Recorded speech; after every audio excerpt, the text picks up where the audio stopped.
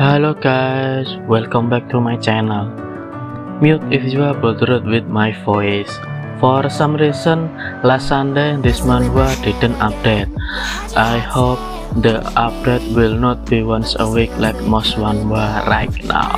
Inside Lord Temple private residence, can you can have a one-on-one talk with Lord Temple. Can you then told everything that he knew about the four-eyed monkey. The four-eyed monkey is one of the monsters that has great intelligence. Usually, the red monkey will wander and patrol around on a certain area. The goal is to provide information to the demon Tauren. Can you then remember how the four-eyed red monkey did in his previous life.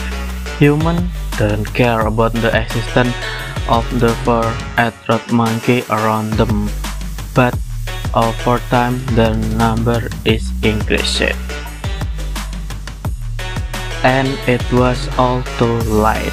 After the appearance of the four-eyed monkey, several types of strange monsters continuously appeared in human territory until one day a monster torrent swept in and caused tremendous damage to humankind.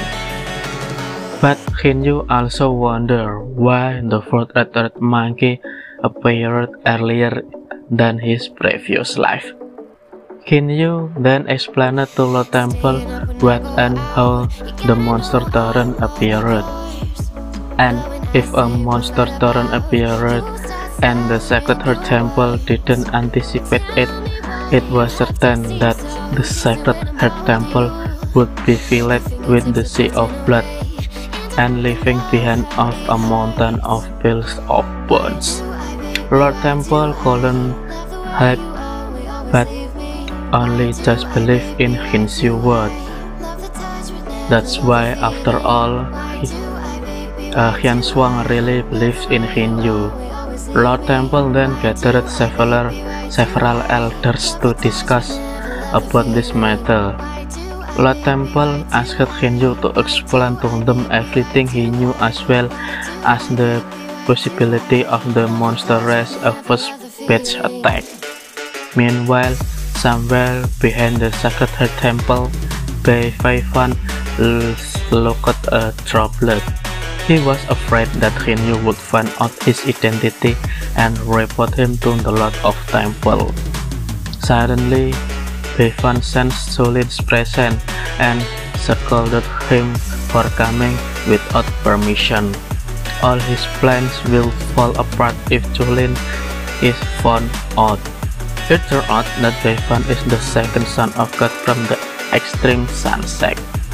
Jolin tells Bevan that his man Hin Ren Hing Fang was him very important information that is monster torrent but unexpectedly Bei Fei Fan was furious to know that Ren Hingham was Jolin's man. Then he strangled Jolin's snake because Bei Fei Fan thinks that Sacred Hands Temple is his mind.